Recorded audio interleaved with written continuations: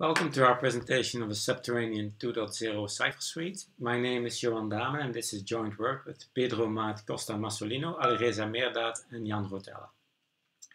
I will be doing the first part of the presentation, the historical part. And this history starts in 92 with the publication of the original Subterranean. So I published it as a stream hash module and it is something that looks like this. And you can use it in two ways. you can use it as to compute a, a, hash function, so you can compute a hash over a variable length message uh, and get a fixed length hash, and you can use it to compute a key stream a, from a fixed length key and a fixed length diversifier. And the way this works is very close to what you would do with a sponge we absorb here in blocks of 32 bits, where we each cycle we shift in 32 bits into the shift register and they shift out back here again. So uh, uh, a 32-bit block stays in the in the machine for eight cycles. While doing that, we also update a state that is initialized to zero, and then we update it each iteration by applying this round function that I will explain on the next slide. So after everything has been absorbed, we do a number of blank rounds for, uh, to get some nonlinearity and mixing. And from then on, we start squeezing. so every uh, cycle, we can squeeze 16 bits. Um, so for instance, if you here want a hash of 256 bits, we have to iterate 16 times. So that's the way it worked. Let's now take a closer look at this round function.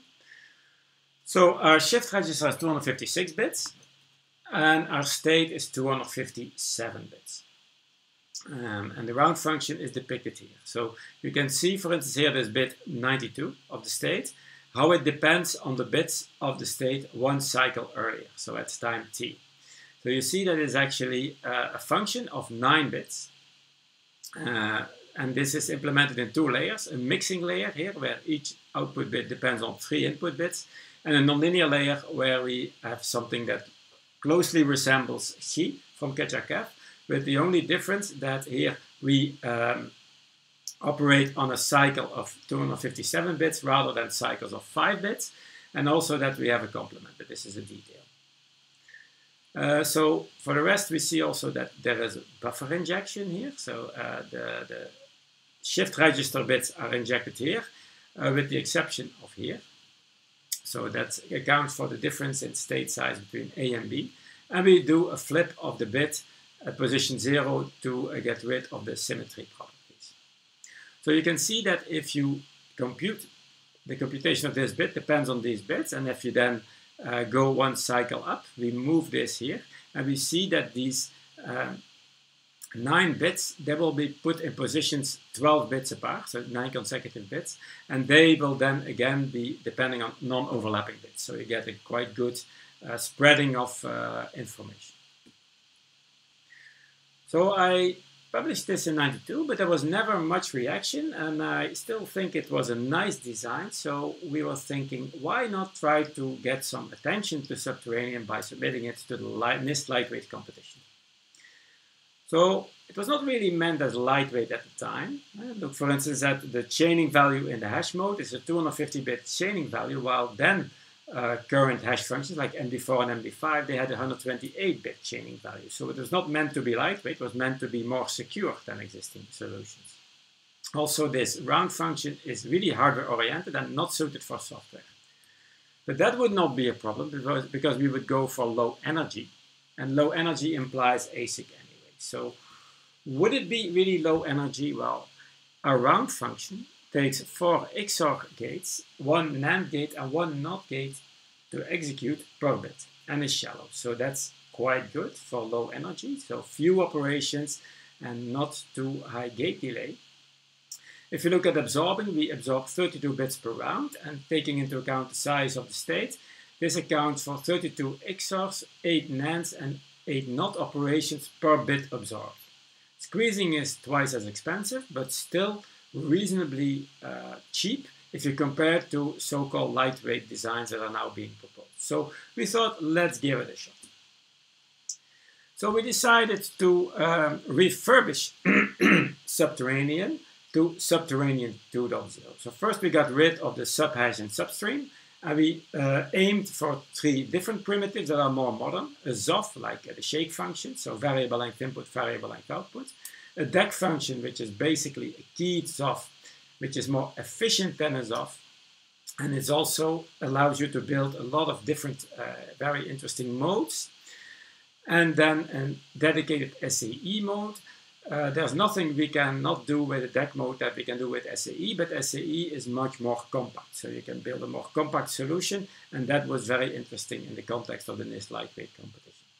So we built this primitive by refactoring Subterranean in two levels. So Subterranean 2.0 has two levels, a duplex level and a mode level.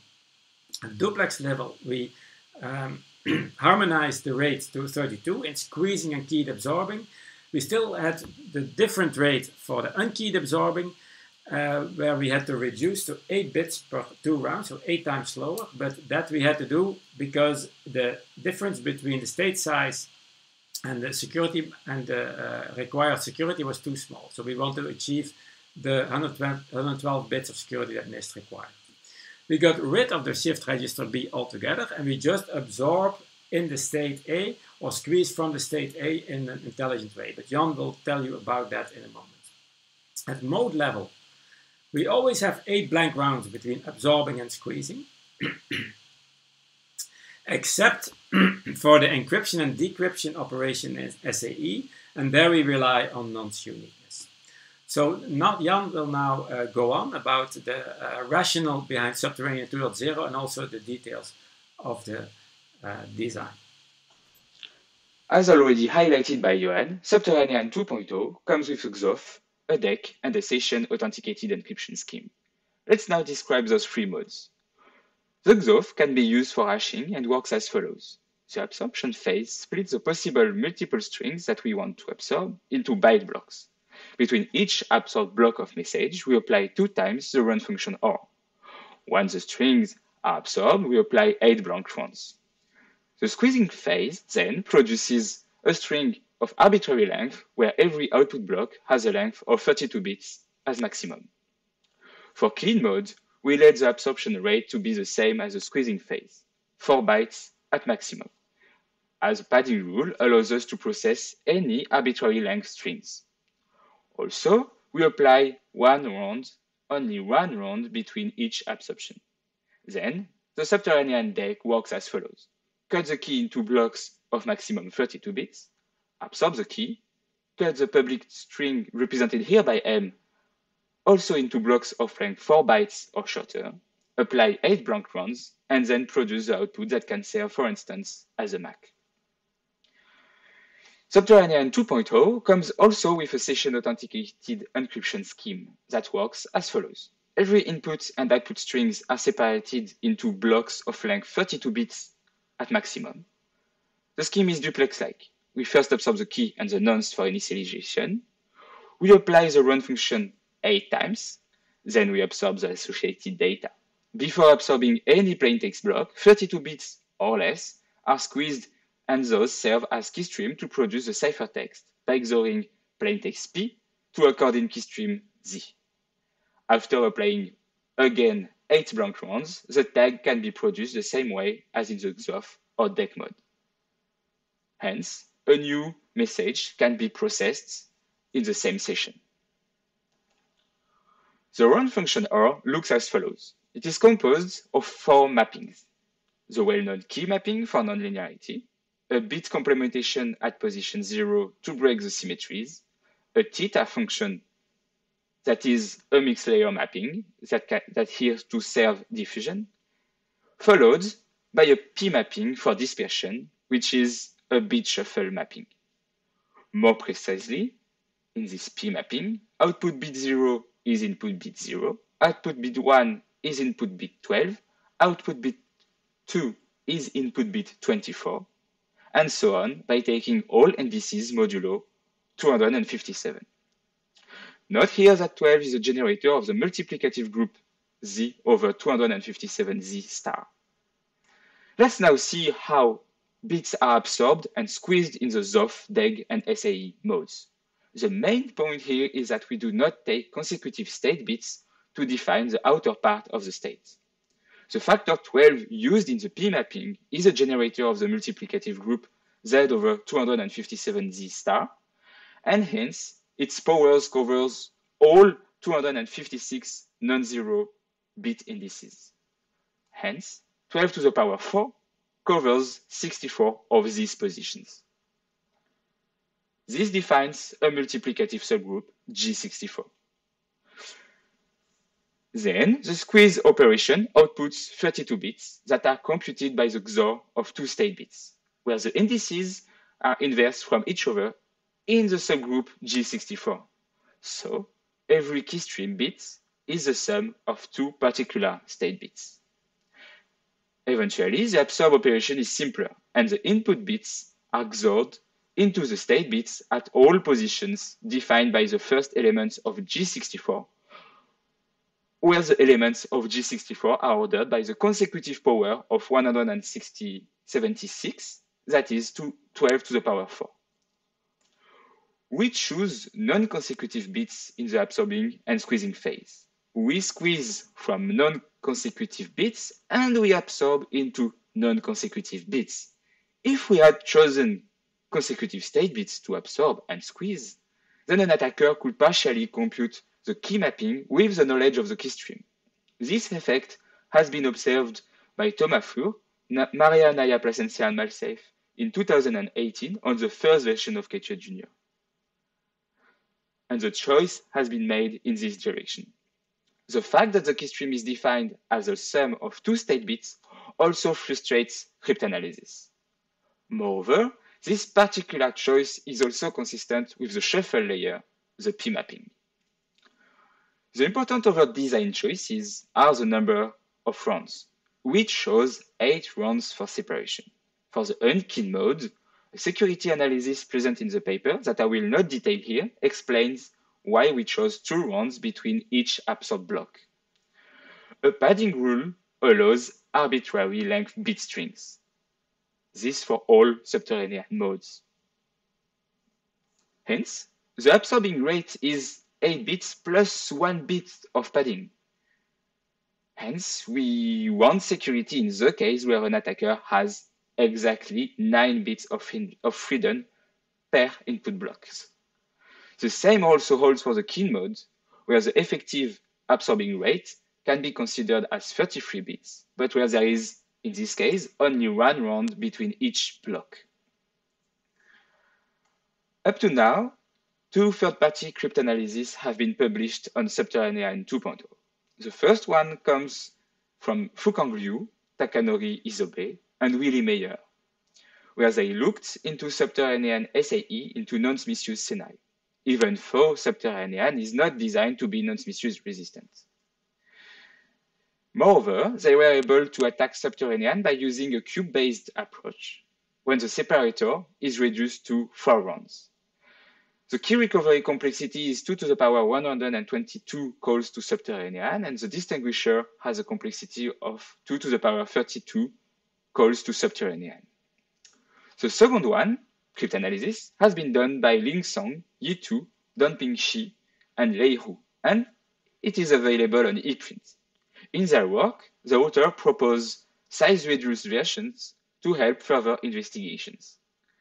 They also prove that there is no observable linear biases in the keystream when taking four consecutive output blocks. And they also improve the complexity of the nonce-misuse cryptanalysis. To conclude my part, I will say that we believe that the security of Subterranean is still strong, but naturally we solely encourage all cryptanalysts to target Subterranean. So more cryptanalysis is welcome. Let me announce Alireza that will talk about differential trail analysis of Subterranean. Now I want to talk about the resistance of subterraneans against differential attack. The main idea of differential cryptanalysis is to find pairs of input like M0 and M1 with a specific difference delta 0 that leads to a specific difference at the output, delta R, with a high probability. Then we can say that the security of this algorithm against differential attack is at most equal to the maximum differential probability of delta 0 goes to delta R. but it is hard to determine. We believe that for subterranean, the maximum dp is, is approximately equal to the maximum dp of QR, when QR is a differential trail, and you can show this trail like this when BIs are intermediate differences. If we want to show this trail on the figure, we can show it this way. To make it easier, we use the weight of trail instead of dp, but this, these can be easily converted to each other. The weight is equal to the negative log 2 of dp. This is what we have so far. To calculate the weight of this trail, we need to define differential trail core. Each round function of subterraneans consists of two layers, linear and nonlinear. We call linear layer lambda and chi is the nonlinear layer. So we can divide each round into these two layers. We denote by AI the difference after each chi layer. Since lambdas are linear layers, once we got the value of AI, we can compute the value of BI with probability equal to 1. So the weight of this trail only depends on the weight of passing chi, which is equal to the weight of delta 0 goes to A1 here, and BI's go to AI plus 1s. Or we can simply show it this way minimum reverse weight of A1 plus weight of BIs. Knowing the input difference is enough to compute the weight.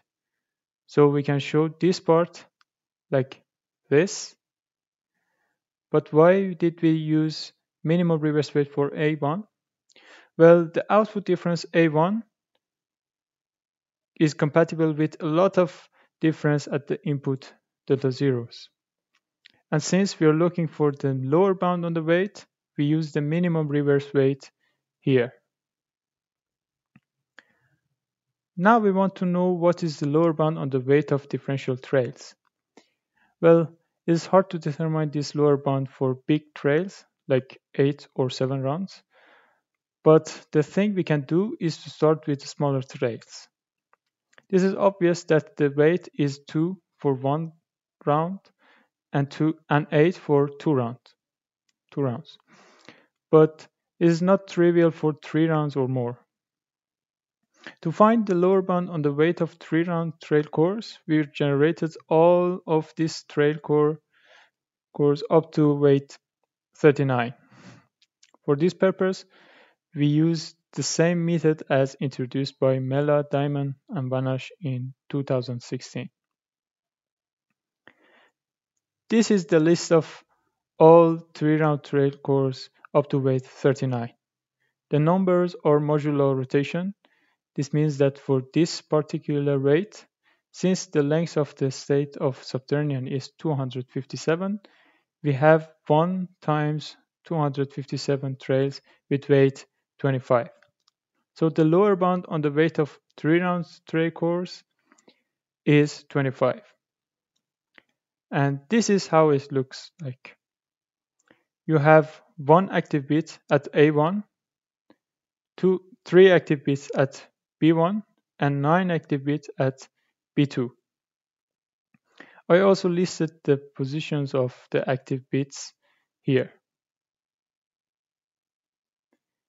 To find the lower bound on the weight of four round differential trail cores, we search the space of all trails up to weight 48. But there was no four-round trace up to this weight. The best four-round trail cores we found cost 58. So the minimum weight of a four-round trail cores should be somewhere between 49 and 58. This is the four-round trail cores with weight 58 that we found we have nine active bits at the at A1, five active bits at B1, six active bits at B2, and 15 active bits at B3. So far, we found the lower bound on the weight of 1, 2, and 3 rounds trail cores. and we know that the lower bound on the weight of 4 round trail cores is somewhere between 49 and 58. But what can we do to find the lower bound on the weight of 8 round trail cores? Well, we know that each 8 round trail core Q8 can be divided into four into two 4 round trail cores Q4 and Q prime 4. If this trail wants to have weight smaller than or equal to 97, then one of these four round trail cores should cost smaller than or equal to 48. Since there is no four round trail cores up to this weight, then we can conclude that the weight of eight round trail cores is 98, which is 97 plus 1. We use different met methods to find the lower bound on the weight of other trail cores, which I will not go into detail, but you can see the list of these lower bounds in this table. Now let's talk about implementation and performance. Since Subterranean 2.0 is a software optimized for hardware, we only talk about the hardware results. We won't talk about the software results nor the software implementation. So here we have the full AED circuit that's compatible with the hardware LWC API. Our goal for this architecture was high throughput, which is one of the outstanding features of the subterranean permutation. To obtain high throughput, we made a circuit called the subterranean string, which can perform AAD or hash as long as data arrives in a specific order, and data is sent in full 32 bits of blocks, except for the last block, which has to be also flagged as being last.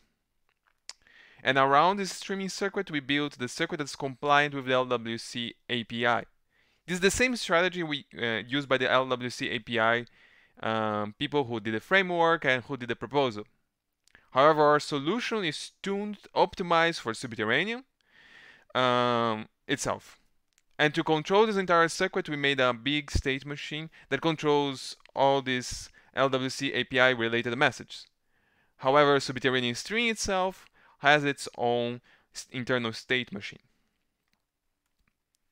So I could do my own benchmarking. Instead of doing my own benchmark, I'm going to get the results for third-party benchmarks. So the people who proposed the framework, the API, uh, they also did the benchmark in terms of FPGA. So for FPGAs, uh, specifically the Artix-7 from Xilinx, Subterranean is the first one in terms of encryption, so in terms of throughput, and the sixth place in terms of hashing throughput. So this is not very surprising, exactly because in during the construction of Subterranean, the proposal of Subterranean, so the theoretical part of Subterranean, Subterranean can process 32 bits of data per round during, the, during encryption, while other ciphers like AES process 128 bits of data every 10 rounds. Xoodyak uh, process 16 bits of data per round.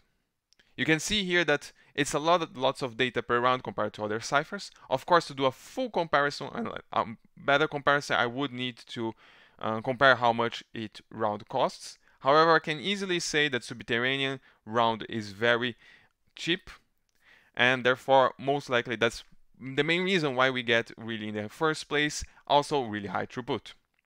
The same thing applies for hashing. Subterranean um, process 4 bits per data for hashing mode. Therefore, you can easily see the difference between the 6 gigabits per second to 744 megabits per second. However, all of these solutions, both these solutions are in the same hardware, so the same hardware supports hashing and encryption. Therefore, we get very low amount of lookup tables, so only 915. In terms of ASIC, we also get the first place, and however, and also for energy, we get the first place for throughput and the first place for energy. And while throughput I already explained before, energy is uh, a little bit more special, exactly because we already proposed that we are have a very low amount of energy cipher. And this is a, can be explained by two things. So Subterranean is a cipher that can process lots of data for a very small amount of rounds. So you can think of, a, for a big set of data, I need less rounds, so less time. And as a consequence, we also, our rounds are very cheap, so you need less resources for each round. If you need less resources, that means less power, less power, less time, therefore very less energy. So that's the reason why we are very cheap energy solution. So to conclude, as I said, Subterranean can target the security of 120 bits for DEC and SCI, and 112 for XOF. Uh, we have a very comfortable safety margin, as seen by other third-party cryptanalysis, but we need you to do more cryptanalysis. So please do cryptanalysis of Subterranean. It's a very good cipher. And it's also a lightweight cipher, as I said, by very small state size, very low amount of, of rounds and uh, that you need to absorb. And all of this has been confirmed by the benchmarking. And also for in terms of masking, um, we the nonlinear layer is only an AND gate, therefore it should be easy to mask just one NAND gate.